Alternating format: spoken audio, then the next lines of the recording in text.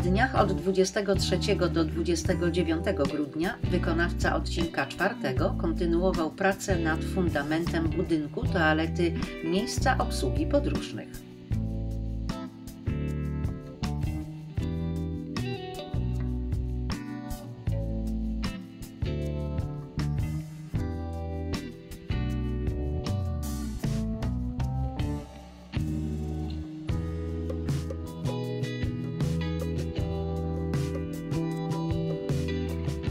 Wykonywane było również betonowanie wylotu przepustu P10 w kilometrze 24 plus 600.